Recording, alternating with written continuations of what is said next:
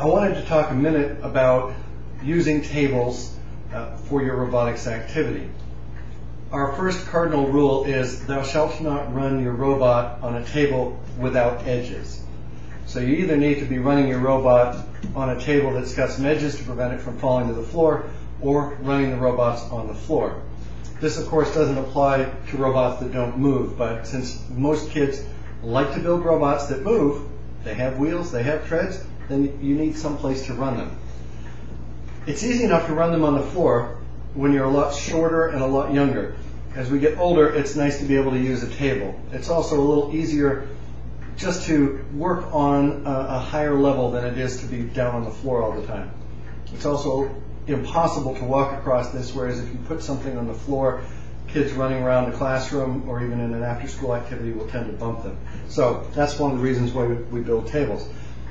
We have two kinds of tables that we use. This is a 4 by 4 table. We also have 4 by 8 tables. Depending on what you need will depend on what you build or, or purchase in your local area. I'm going to talk about a 4 by 4 table, but if you want a 4 by 8 simply make it longer. There's a couple of things that, that you want to look for as you go about getting your table, and there are some building directions online, but it's really does it's too simple to really need building directions. What we have here is a 4 by 8 uh, sorry, a 4 by 4 sheet of Luan.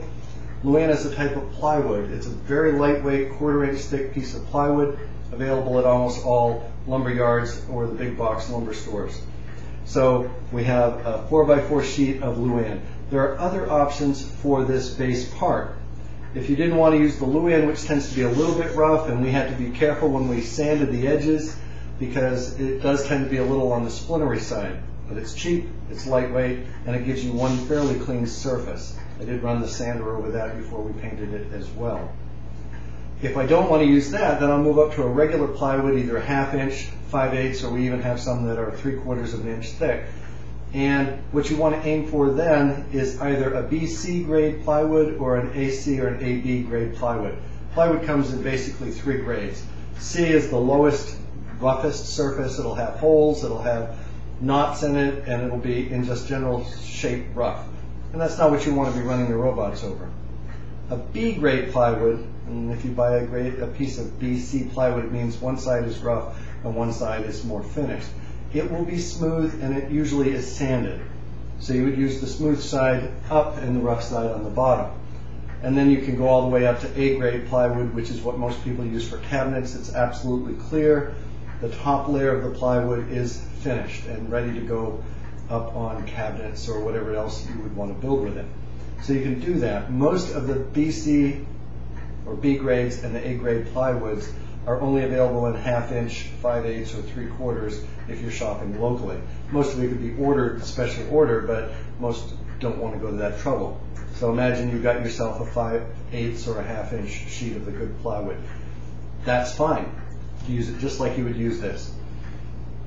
Another possibility for the base here would be a 4x4 or, a 4x8 sheet of melamine.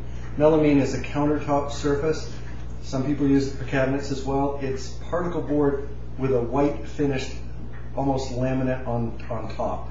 And it's very easy to clean and it's very smooth. So if this were a, that a melamine surface, all we'd have to do if there were marks on it, put some spray cleaner on, scrub it off, wipe it off, and it's clean again.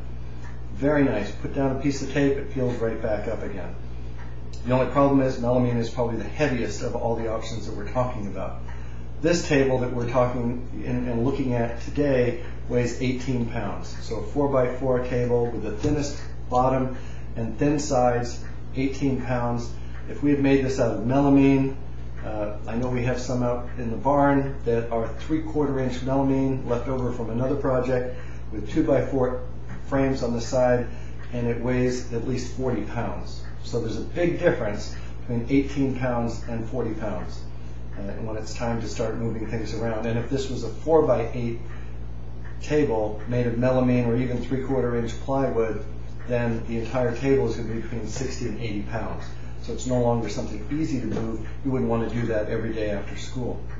Plus, you'd have to worry about it falling over and, and uh, uh, causing some damage either to people or to the building. So we've got a quarter inch piece of melamine. On the edges, you've got several different options.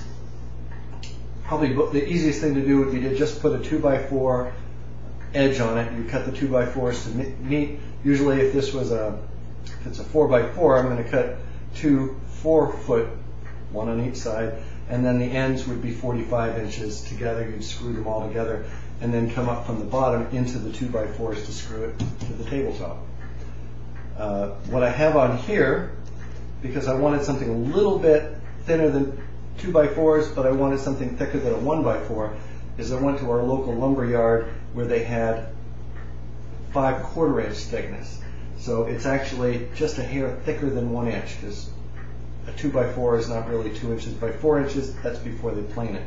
Same thing here. This was an inch and a quarter thick before they planed it. Uh, if you buy one inch lumber after they plane it, it's three quarters inch thick. So you're getting a lumber lesson at the same time.